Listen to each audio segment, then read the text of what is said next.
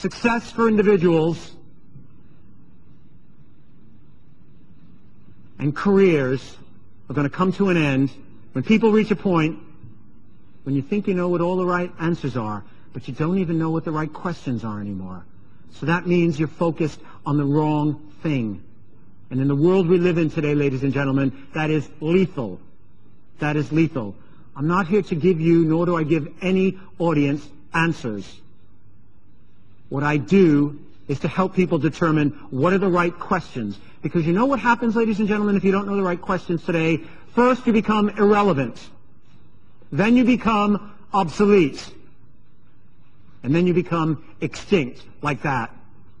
And the point was made earlier that having the vision isn't enough, and it's exhausting to consider.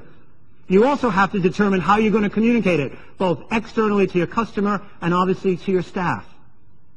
And using Dr. King as a metaphor, can I remind you that when Dr. King stood up on the Mall in Washington in 1963 in front of half a million people and delivered arguably the most famous speech in the United States in the 20th century, he did not, he did not get up and say, I have a strategic plan. Did he?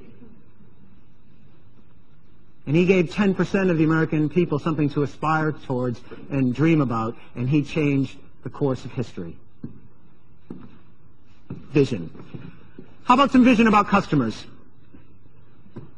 Now, it's not going to make a difference, ladies and gentlemen, whether your customers live in London or Lagos or Lima or Las Vegas. They're going to have access to information in real time, aren't they? And they're going to be comparing everything. Everything. They're going to be obsessed with comparing product, price, quality, service. And you know what else they're going to compare? and it's going to become a chief determinant in the manner in which consumers buy in the future, beyond our wildest imagination.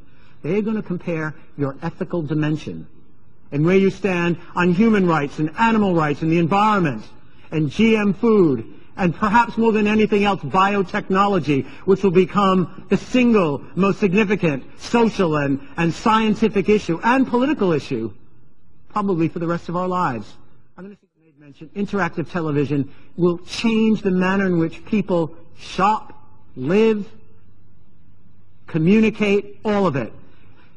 Figure that out. Take that down a couple of levels. What else are they going to do? Organize into buying communities. It's effect at the click of a mouse. Have power like never before. Forget trade unions. How about customer unions? You watch. Are you thinking about those things in your business? How about customers demanding to be paid for data? None of us are going to give it away anymore. It's so valuable to everybody. Why are we giving it away? You know, the biggest paradox of the age of connectivity, I think, is that the more connected we get, is the more individual we want to be. Think about it. Folks, I, I think mass marketing is dead. I really do. I think it's dead. When we all have our individual web pages, which some of us already have, and if you really think it through and extrapolate it out, just think what the what it's going to mean when babies are born, and of course their whole genetic map is determined. So all their health care is individualized. Perhaps all their education is individualized. And you think you're going to be able to do anything in a mass market way in a world like that that's going to exist soon, 10, 15 years, within our lifetime? These are issues that your businesses have to be thinking about clearly. And jobs are going to be organized. I think you already have an understanding of this, like Hollywood studios organize themselves. Hollywood studios do not employ people. They organize talent, don't they? To work on projects for specific times, and they bring in the next group of most talented people for the next project. I do think we do live in a dream society where, you know, our wealth and privilege is unspeakable and beyond our imagination. And I do think that what will be remembered for our generations combined is what we've done with the freedom that we have. How big our dreams have been. Think of the freedom that we have. It's quite remarkable.